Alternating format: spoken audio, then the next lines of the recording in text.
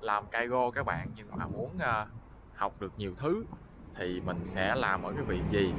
Thì uh, mình uh, có một cái viện khuyến khích các bạn đó là làm ở viện uh, Goken nha các bạn. Nếu mà các bạn muốn học nhiều thứ á tại vì ở Goken á thì các bạn sẽ tiếp xúc được với uh, nhiều cái uh, nhiều nhân viên của uh, các cái bộ phận khác nhau. Ví dụ như là Rehabiri hay là uh, Kangoshi hay là là y tá đó hay là bên uh, à, Eyoka là bên à, à, bên bên bên bên dinh dưỡng. Đó rồi hoặc là bên uh, Gengo Chokakushi tức là về bên cái cái loại cuốn họng nè bạn. Tức là bên cái uh, gọi là cái NG cái loại nuốt này nào đó đấy được hay không ha, ăn uống làm sao đấy. Thì nó có rất là nhiều cái bộ phận khác nhau vậy á. Và cái sự liên kết giữa các cái bộ phận đó đó nó nó cực kỳ tốt các bạn.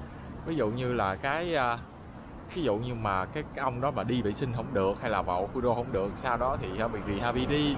Hoặc là khi mà ăn uống á, nuốt ờ, uh, chừng hay là nuốt không được này nọ thì uh, có thể báo với bên uh, Gengo Chokakushi là đó họ sẽ tới họ sẽ kiểm tra cái cô cuốn họng này cái đường nuốt này nọ sao thấy không?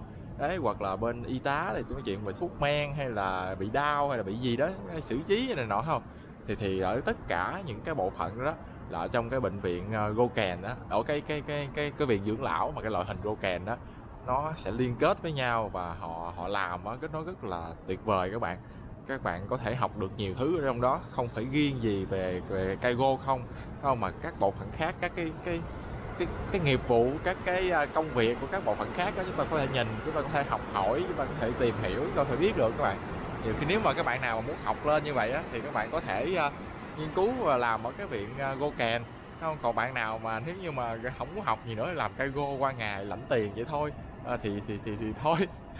Đấy làm viện nào cũng được kiểu vậy. Còn mà nếu mà muốn học thêm nhiều thứ khác nhiều cái bộ phận khác á thì mình khuyến khích các bạn là nên à, làm ở viện Goken nha các bạn. Đấy nên chọn viện Goken. Và mình là tại Kaigo chia sẻ mọi thứ về Kaigo